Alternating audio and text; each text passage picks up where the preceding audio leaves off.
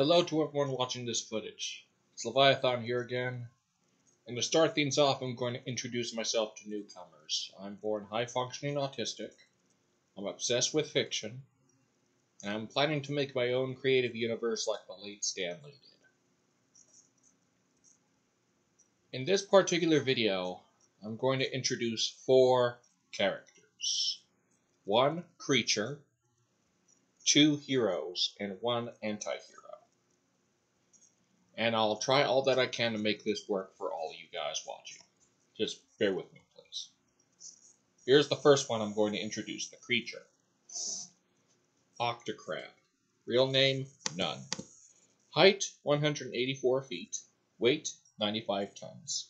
Status, villain, and lone resident of the Lake of Tears. Base, Lake of Tears, Wonderland. Intelligence, one and a half brains. Behavior, bloodthirsty, sneaky, and horrific. He'll do anything to cure its hunger for as long as needed. Lethality, as above. Weaknesses. It hates loud noises. Powers. It has great size and strength, sharp claws and teeth, tentacles, and a strong shell. It has a pair of antennae used to sense the movement of its prey. Eyes blood red. Hair none. Origin At the loss of the White Queen, Alice I unintentionally made a bottomless lake from a single tear, which doesn't dry in summer or freeze in winter. Eventually, the Lake of Tears had somehow manifested its only known resident, the Octocrab. Since then, all the Wonderlandians would think twice before visiting the lake, because the Octocrab is the second worst threat for Wonderland, just beneath the diabolical Jabberwocky. Costume. It has a shell that protects it from most forms of damage. Teams, solitary. Original inspiration, octopi and crabs. The next one I'm going to introduce is one that's inspired from another classic fairy tale. And I hope you guys understand and such. Here it is. Bean. Real name? Bean Plant. Height? 2 million feet. Weight? Unrevealed. Status? Hero and leader of the Bean Corps. Base? Missouri, USA. Mobile. Intelligence? 3 brains. Behavior? Witty, flirtatious, and compassionate. She'll do anything to both protect the innocents and her destined soulmate. Lethality only by accident or if angered. Weaknesses. She only gets her energy from sunlight and water. Powers. She has immense size and strength, uncanny reasoning skills, and possesses an innocent soul. Eyes, deep green, hair, deep black, and shoulder length. Origin. Jason Plant was an ordinary young adult who wanted nothing more but to have the perfect spouse. One day, he found a magic bean that whispered that it can change via a wish into anything he desired. Jason then took it back to his farm and planted it in the soil, wishing for the most unique and willing lover possible. That night he had a dream about his wedding day, and before he saw the face of his bride, he, he woke up from a surprise shout from his mother. Jason went down to the back of door of the house and found that his mom met a young girl who stood tall enough to have her scalp in the cloud line. Admitting that her name is Bean, she explained to Jason that she is his intended lover. She then took him on a walk to Chicago, despite that Jason wasn't used to her elevation yet. While there, Bean got thirsty and chose to drink a sip of Lake Michigan. Just a sip. Despite all the commotion, Jason had over time gotten used to Bean and soon accepted her as a spouse. A few months later, Jason and Bean went through their wedding ceremony and later traveled to Modesto for a successful honeymoon. Costume She wears a gray t shirt, dark blue skinny jeans, and gray sneakers.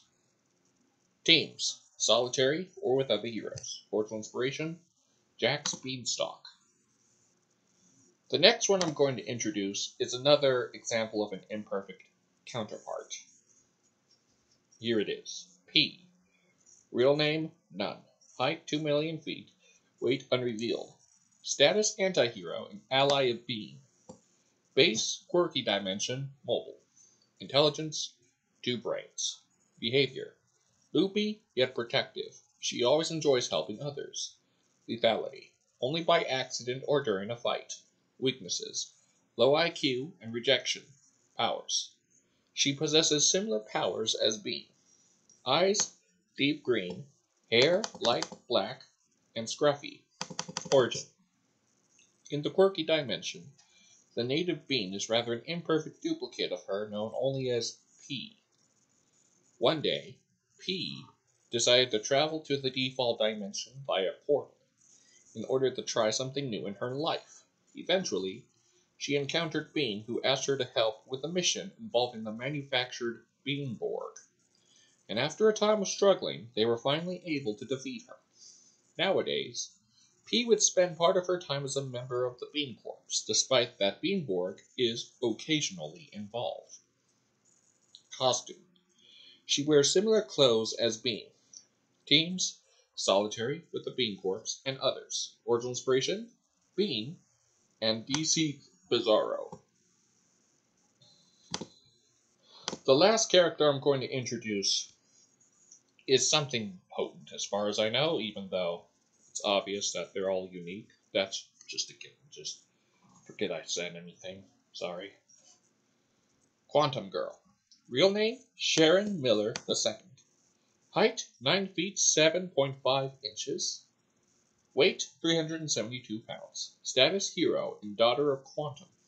Base The Sky Fortress. Alpha Earth Mobile.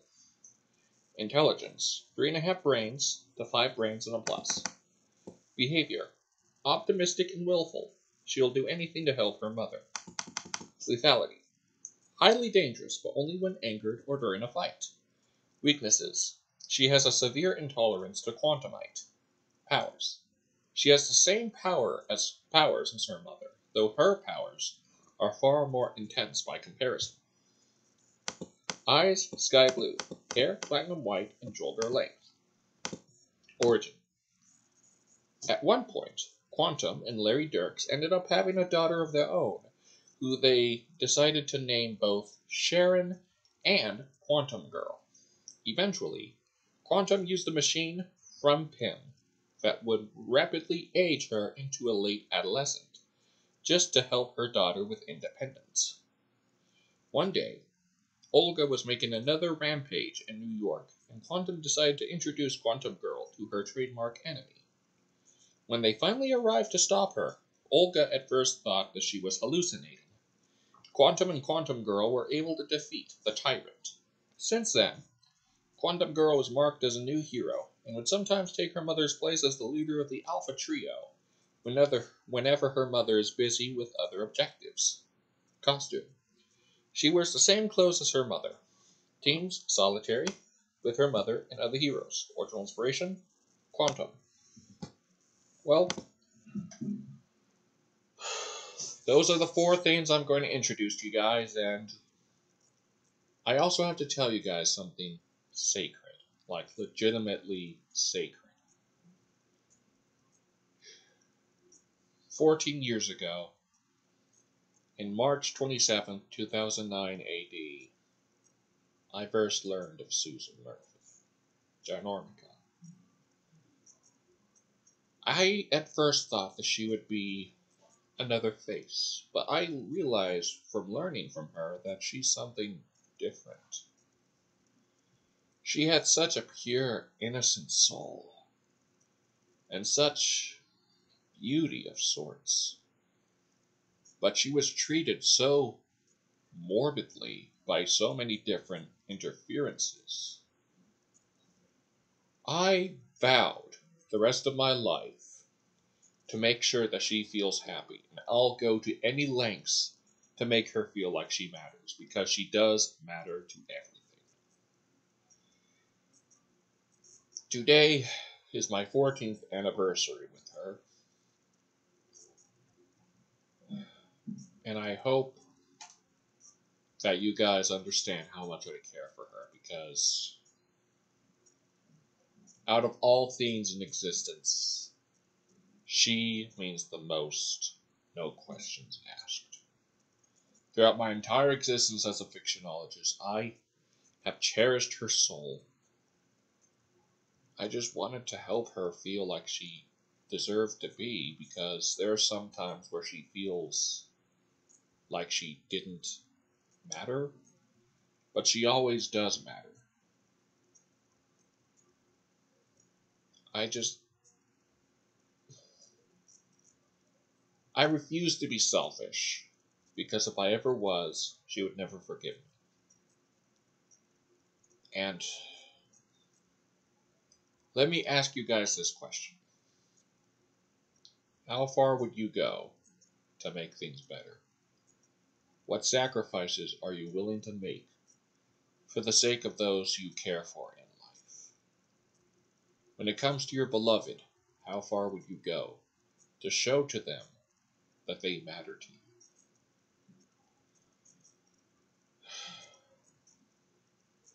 I just hope that things work out well in the long run, not just for my Leviathan universe, but everything, because sometimes I feel it's like a collision course of sorts.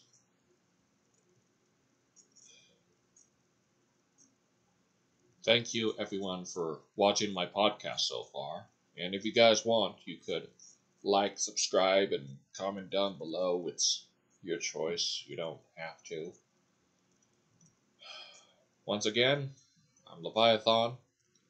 Hope you guys have a fine rest of the month and such, and have a fine April Fool's Day and so forth. And until next time, in transmission.